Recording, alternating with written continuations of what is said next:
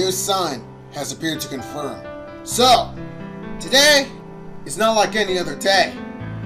This is due to the amount of thoughts occurring. These thoughts are not just dreams. This time will not be like last time. The concept of today onward is not reflective, however, restorative. This is the concept of this journey. A version